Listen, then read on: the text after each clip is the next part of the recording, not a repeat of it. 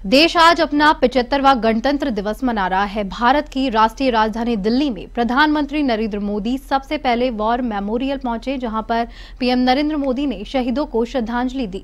साथ ही दो मिनट का मौन भी रखा।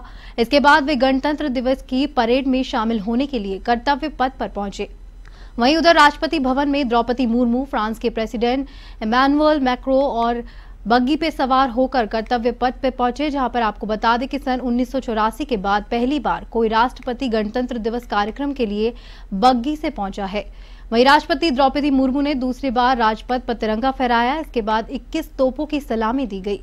इस परेड को देखने के लिए तेरह हज़ार स्पेशल गेस्ट भी पहुँचे। इस बार गणतंत्र दिवस की थीम विकसित भारत और भारत लोकतंत्र की मातृका है।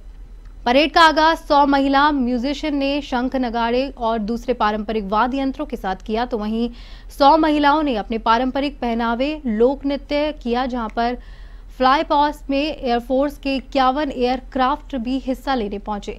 इसमें उनतीस फाइट फाइटर प्लेन, सात ट्रांसपोर्ट, एयरक्राफ्ट और नौ हेलीकॉप्टर और एक हेरिटेज एयरक्राफ्ट भी शामिल रहा। फ्लाईपोस्ट से पहली बार फ्रांसीसी सेना के राफेल भी शामिल हुए। इस साल का गणतंत्र दिवस विशेष इसलिए भी रहा क्योंकि इस साल कर्तव्य पथ पर परेड और झांकियों में महिलाओं की भागीदारी ज़्यादा दिखाई दी।